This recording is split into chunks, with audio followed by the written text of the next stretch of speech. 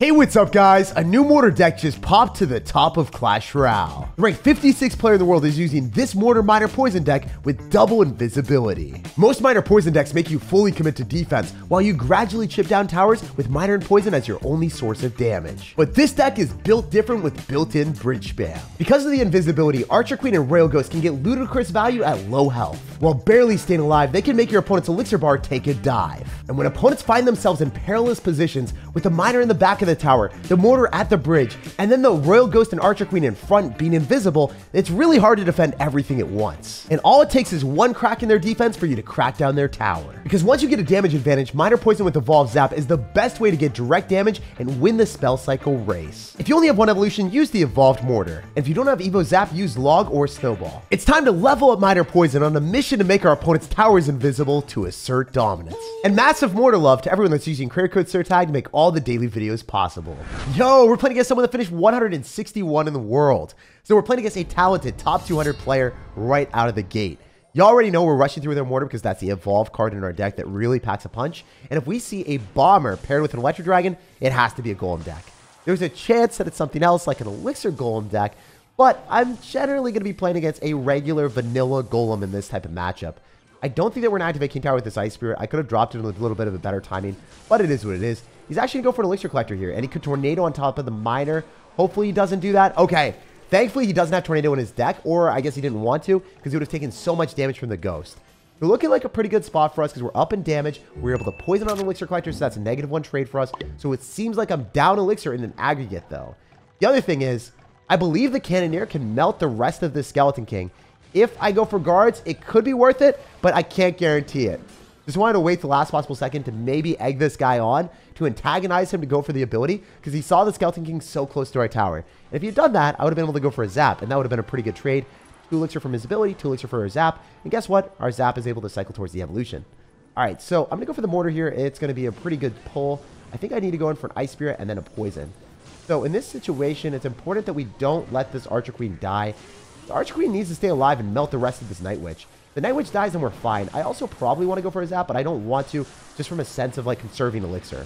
It would have made sense to keep the Arch Queen alive and healthier, but I can still keep her alive with a Miner in front. You guys might be wondering, why are you doing this, Jake? Why would you ever go in for a Miner in front when you have to go and counteract the Elixir Collector? But if I can keep the Miner and the Archer Queen alive a little bit longer, then he has to spend Elixir, so he's not able to go for the Elixir Collector. That was our strategy. It still didn't work out as planned, but it was okay, you know? Like, because of our quick card cycle, I'm able to get back to a miner with a couple more cards. So I'm going to go for the mortar here, and then I'm going to go and cycle guards, and then I'm going to be back to a miner to go and combat his elixir collector. That's our strategy here. Sometimes it's just full-on offense until you get the right opportunity. I'm going to drop the miner on top of the elixir collector. We know that if he decides to go for evo bomber, it's going to do a lot of damage towards my tower because it's a broken card. Even after the multiple nerfs, like I was going to say multifarious and I said multiple. It was only like one or two nerfs. It was two nerfs total. They nerfed it before it was added into the game, and then they did another nerf where its range was decreased. But it's still broken. It's still beyond unfair. For two Elixir to do that amount of damage to my tower, I just don't even understand. Anyway, we're going to go in for a Mortar here, and then I can go in for a Miner in the back. And the bad thing is, like, this is a big push coming from him. 50 seconds would be scary, but fortunately for us, we only have like 20 seconds to hold on. I believe that we can do it. I'm going to go for the poison right now. I'm going to get back to another mortar. The cool thing about our deck is that it is mortar mayhem you are able to amaze your opponent with a maze of units that they always have to break through. And as long as the Evolved Bomber can't lock into our tower, there's no way in heck that he's going to be able to do enough damage in two seconds, right? Oh, wait, that was a lot closer than I thought. I didn't actually realize that the Evolved Bomber had its bomb bouncing on our tower there. But luckily, the tower on the left-hand side from our opponent was also at 400 HP, so it just took like one more miner Poison for us to secure the bag. I always feel pretty fortunate to match into top 200 players running Golem decks. Because whenever I'm running a control deck and I play against a beatdown deck, no matter how good they are, I'll always have an advantage. The cheap cycle cards create chaos that no big beatdown deck can ever keep up with. And after reducing that golem deck to rubble without too much trouble, we gotta swap out the Cannoneer for the Princess Tower to show the more accessible version of the deck. Yo, we're playing against a 441 player in the world. Y'all already know if his name is gonna be Install. I just think that he's going to be installing some ridiculously aggressive offense. Most people on ladder, when they're high ranked and they're pushing up for the first time in the season, towards the end of the season, they generally are going to be running some really aggressive decks so they can climb up trophies quickly. Just going to fireball. I wonder if I can get the miner down so the Archer Queen doesn't get targeted, and that's exactly what we are hoping for. So, fortunately for us, we got the miner body blocking for the Queen. Then we also have another layer of defense if we could decide to go for the ability, but wasn't able to do that there. Gonna go Battle Ram. I think it's gonna be better for us to just go in for a mortar here. And we're gonna activate King Tower with that. It's an unorthodox mortar placement because if you think about it, it wasn't necessarily gonna be able to hit our opponent's tower. But if it accomplishes the King Tower activation, that's all we really care about. I don't think zapping is great, but I'm going to do it anyway just so I can be able to cycle a little bit faster and get to the evolution. I'm going to Ice Spear anyway on the Ghost. That doesn't really matter. The Ghost should die. Notice where we drop the Ice Spear. We drop it up as high as possible. If you drop the Ice Spear closer to your tower, the Ghost gets noticed right next to your tower. And then your Princess Tower doesn't have that much time to kill the Ghost. You want to make sure that the Ghost is discovered as far away from your tower as possible. So then your Princess Tower has a lot of time to damage it down. Also, I want to go in for a Royal Ghost directly on top of the Firecracker again. And this time we're going to be able to shut it down, hopefully with only one hit on our tower. Um, that's not that bad. He is going to have P.E.K.K.A. Dang it. All right, so this is one of those situations where I want to be able to get a lot of damage with the Evolved Mortar. It's going to be harder for us to find opportunities to get damage with our Miner Poisons unless we reach the later parts of the game. Because if he goes in for P.E.K.K.A. or if he goes in for, like, I don't know, a Bandit, there's a lot of different things that he could do at his disposal to be able to finish off our Miners fast. We're going to Ice Spirit here. And we're going to go for our Ghost. And I think that we might even have to go for a Zap to guarantee that the P.E.K.K.A. dies. This is super sketchy because if you guys notice the Archer Queen dropped at the river, that's going to make me drop guards as well. So I'm literally at zero elixir right now because he's trying to zero my health. Please stop with the insane bridge spam, my guy. It's really smart of you to do that, and I don't like that you're doing that to me. So we can mortar in the other side, and the reason that we're doing that there is it still locks onto the tower that we want, and it's going to be going opposite lane of our opponent and pulling the battle ram as far as possible. Then we're going to go in for a Ghost, and then I think we have to Evo Zap on the Skeletons, unfortunately. I was optimistic that I wouldn't have to waste Evo Zap, but it was a necessity for us to not lose the game. All right, so now our strategy is finally fully formed in fruition. If I'm able to go in for guards and then I'm able to go for a mortar here, we know that he's going to be down a lot of elixir. And if he tries the firecracker, it's not going to work out so well. We do have the miner to kill the firecracker quickly, and then we can should just be able to go for guards, not take any damage from the P.E.K.K.A., kill the Royal Ghost, and plop down all of our elixir right into the Queen. If he doesn't go in for anything to protect the Queen, then he's going to lose, but if he does protect the Queen with the ability, then I guess he's not going to be able to stop the mortar. So he has to pick what does he want to do, preserve the Queen or his tower, and he chooses to take a ton of tower damage straight to the face. Again, we're going to be able to go and pull the battle ram from the right-hand side to the left-hand side, and the mortar should be able to hit the tower if he doesn't go for a firecracker, and he does waste a firecracker. Again, this guy is consistently getting bad trades. If you go for a, for a ghost plus miner at the river, that's one of my favorite plays to do when they're down elixir, because if they drop bait cards like skeletons, it's not going to be able to defend the ghost. And if they do that, then they have no elixir to counter the miner, and it's just, it's awful, right? He wasn't able to defend anything there. The miner the poison was direct guaranteed damage, while the ghost got an up close and personal spook, slicing up our opponent's tower with his sword. We're starting off strong with one of the best starting hands with the mortar. Cycling that at the start right into Wallbreakers is a negative two trade, but our mortar is still live, so I think that's a good decision for us to go and drop it. Also, being able to dedicatedly drop an evolution and get to that a little bit quicker, even if it is a negative trade, most times it's pretty good. You might Mega Knight here. I bet you he does. Yeah. You know, when I see Wallbreaker cycled first play, it's either a Miner Poison cycle deck or it's going to be a Masterful Mega Knight Sir. So we're going to go for a guard surround on top of the Mega Knight, and then I want to go for Miner in the back. We're going to get ready because one of the guards is going to die, and then the other two will survive, and then we could go for a Zap on top of Bats or a Goblin Gang like that. That's even better. Yo! That is enormous amount of damage. That is crazy. Wow, we love that. I also love doing accents. I don't know about you guys, but I'm a viber. Oh my goodness, don't do that to me. Please, Archer Queen, one more time. Yes. The fact that the Archer Queen was able to one-shot the wall breakers paired with the Ice Spirit meant that we didn't have an utter disaster on our hands.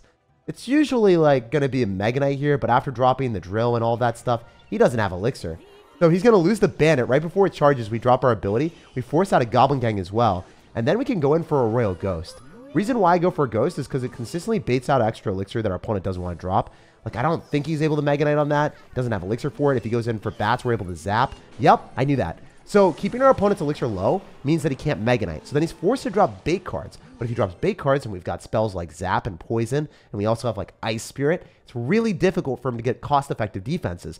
When he's facing a Royal Ghost and he drops a Goblin Gang, he has to surround it perfectly. He can't go for Bats because they're going to get destroyed by all of our spells. It was really fun to do that type of mechanism. If he Mega Knights here, sure, he's able to hit the guards, and then it will eventually go back towards the miner, but he's still guaranteed to take 200 damage every time. It's not a lot of damage, but it's something worth uh, while investing into for us. All right. If I go in for a Mortar here, the Mega Knight's not going to jump, so that's huge. And then we can go in for the Evolve Zap, pop the ability here. Because I think the Mega Knight just dies before it even gets anything.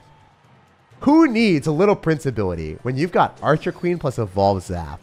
That thing is broken, especially since I can get two abilities here. I should be able to pop a second one in a second.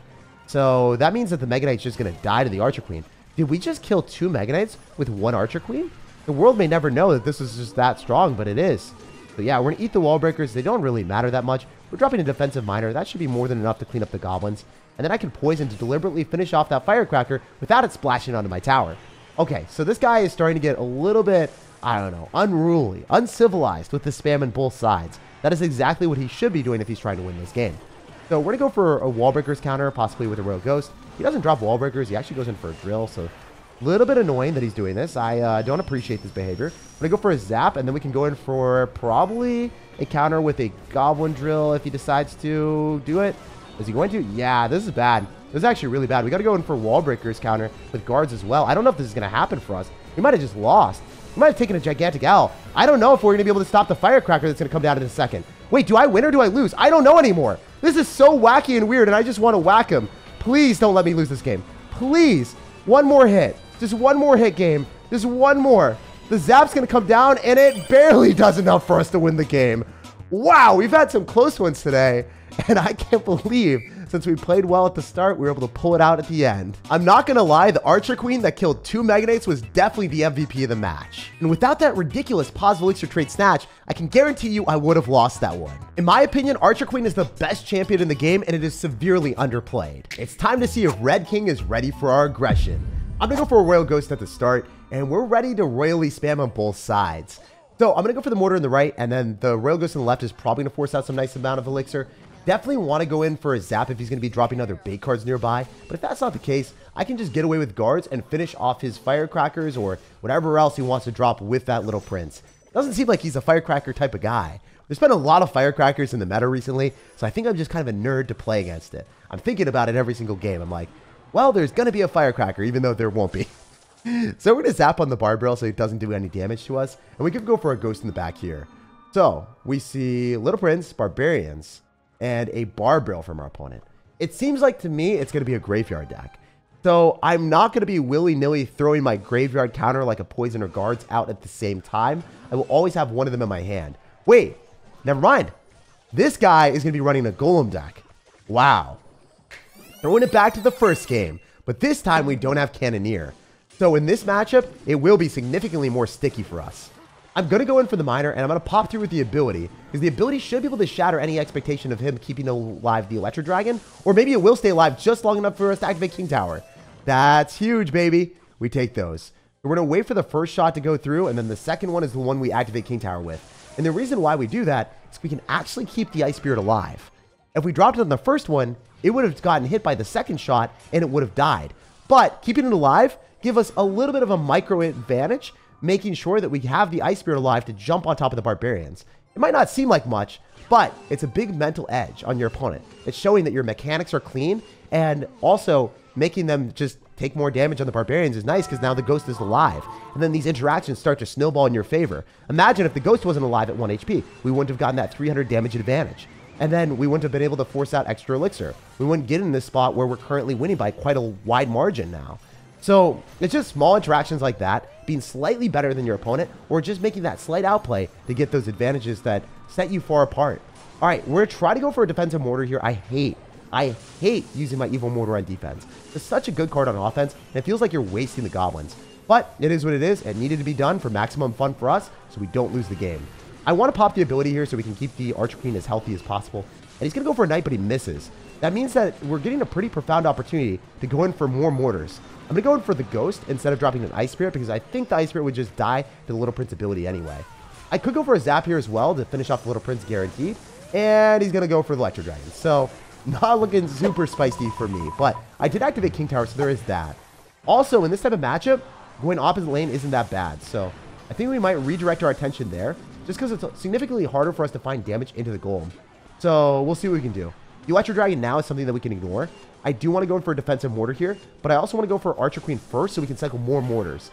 If you cycle the Archer Queen on the map, you're engaging in a three-card cycle. because you can't get multiple champions on the map. So it lets you get back to the card that you want to get back to a little bit faster. Now we're able to go for the Evo Zap here, pop the Archer Queen ability, and then hopefully have a target marked on our opponent's back. He is not going to get through with this attack. So, as I said before, going opposite lane is a little bit better, but because he overcommitted really aggressively there, I think it's going to be better for us to continuously go same side now, especially since it's at 2,500 health. Going opposite lane right now, I don't think would make that much sense. But if I have the ability to, I will go opposite lane 90% of the time.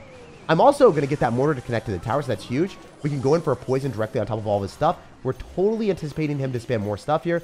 But if the Archer Queen can just melt the Electro Dragon and Little Prince, then I'm a very happy camper. Camping out on this side of the map with our mortar while we just engage in a full offense aggression. Also, the Archer Queen staying alive is huge. I think that we can get an ability down if we're just lucky enough. That would be massive, and I don't know. Oh, no. Or nor, or nor for all the Australians out there. This is not going to go well. We're going to be turned into a kangaroo punching bag real soon. Those barbarians are looking real mean. Also, I want to travel around the world, so hopefully I get to meet you guys in Australia one day.